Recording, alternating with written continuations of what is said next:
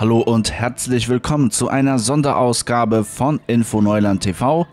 Zum zweiten Mal in Folge wurde in diesem Jahr ein Weihnachtsmarkt in Neuland veranstaltet. Vom 4. bis zum 7. Dezember konnte man die Gelegenheit wahrnehmen und durch Neulands Plaza Chaco Boreal schlendern, wo sich etwa 20 Stände befanden. Hier bekam man typisches Weihnachtsgebäck, Essen, Gestecke und Weihnachtsdekoration zu sehen und auch zum Verkauf angeboten. Jeder Abend wartete mit einer interessanten Veranstaltung auf Gäste. Am Donnerstag war es ein Singabend unter der Anleitung von Kulturbeauftragten Heinz Wiebe, wo man typisch deutsche Weihnachtslieder angestimmt hat.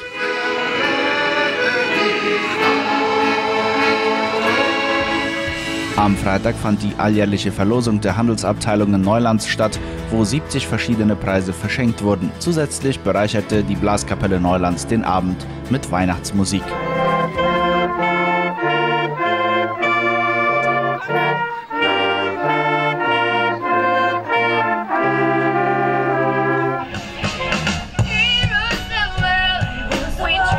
Musik war auch das Thema für Samstagabend. Ivan Volz und seine Band präsentierten eine Show mit moderner Weihnachtsmusik.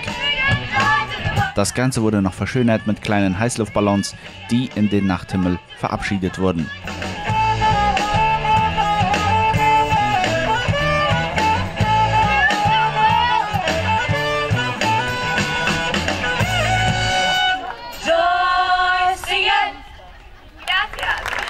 Den Abschluss am Sonntag machte ein ganz besonderes Event. Nach einem Laternenzug der Kinder gab es eine Karawane mit weihnachtlich geschmückten Fahrzeugen.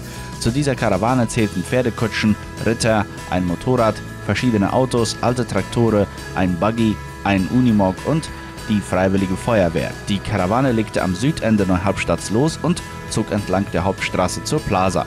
Dort erwartete das Publikum den bunt leuchtenden Zug. Zusätzlich wurde eine Bewertung mit anschließender Prämierung durchgeführt, wobei der erste Platz an Herrn Marvin Friesen mit seinem zu Cabriolet verwandelten VW Käfer ging. Platz 2 ging an Herrn Jimmy Bark mit einem Unimog und der dritte Platz ging an Herrn Herbert Rempel, der mit einem historischen Trecker zusätzlich noch eine Blaskapelle mit sich zog, die dem Publikum mit Liedern den Abend verschönerte. Jeder Abend wurde auch live von Radio Neuland übertragen, dessen Sendestation ein altgedienter VW-Bus war. Der Bulli gehört dem Leiter der Kommunikationsabteilung und war nicht zuletzt auch ein weiteres Schmuckstück des Weihnachtsmarktes. Die Fenster des Wagens waren mit Weihnachtsbildern ausgeschmückt, die die Kinder für einen Malwettbewerb der Info Neuland Zeitschrift gemalt hatten. Natürlich wurden auch hier die prämiert. Genauere Informationen gibt es auf unserer Facebook-Seite oder auch auf der Webgalerie. Der zweite Weihnachtsmarkt in Neuland war ein voller Erfolg. Ein besonderer Dank gilt hier den Organisatoren Mathilde Unger, Irma Dück und Corinna Rempel in Zusammenarbeit mit der Kooperative Neuland. Wir warten schon gespannt auf das nächste Jahr.